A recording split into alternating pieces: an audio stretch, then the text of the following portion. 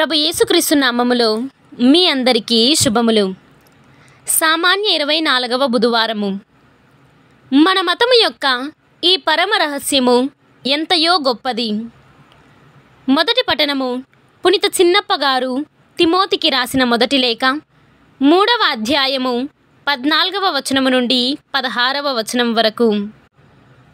మొదటి పట్టణము పునిత చిన్నప్ప గారు తిమోతికి రాసిన మొదటి లేఖ మూడవ అధ్యాయము పద్నాలుగవ వచనము నుండి పదహారవ వచనం వరకు. నేను ఈ ఉత్తరమును వ్రాయిచు నిన్ను త్వరలో వచ్చి చేరగలనని ఆశించుచున్నాను.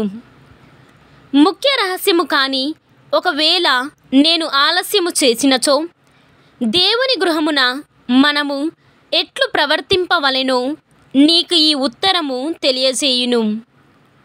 సత్యమునకు మూలస్తంభము పునాదియునగు సజీవుని దేవుని శ్రీసభయే ఈ గృహము.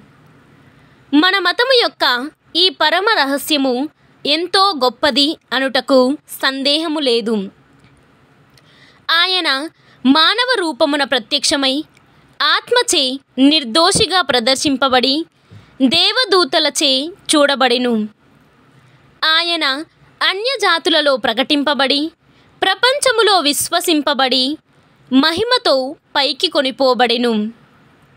ఇది ప్రభువాక్కు సర్వేశ్వరునికి వందనములు.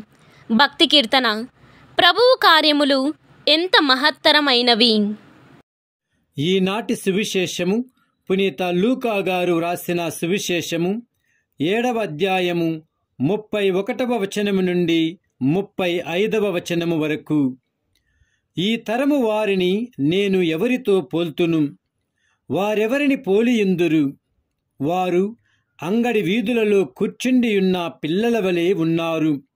వారు ఒకరినొకరు పిలుచుకొనుచు మేము మీ కొరకు వాద్యములను మ్రోగించితిమి కాని మీరు నాట్యమాడరైతిరి. మేము విలపించితిమి కాని మీరు ఏడ్వరైతిరి అని అనుచుందురు. యోహాను అన్నపానీయములు పుచ్చుకొనకపోవుటచే అతనికి దయ్యము పట్టినదని మీరు చెప్పుచున్నారు.